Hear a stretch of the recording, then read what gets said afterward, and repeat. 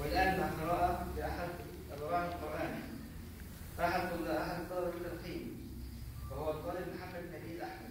فليتفضل استاذن له الميكروفون. له الكرسي عصام أعوذ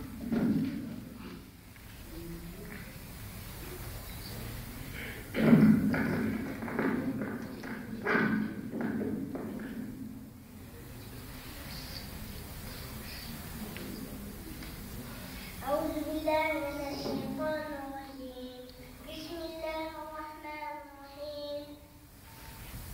والتين والزيتون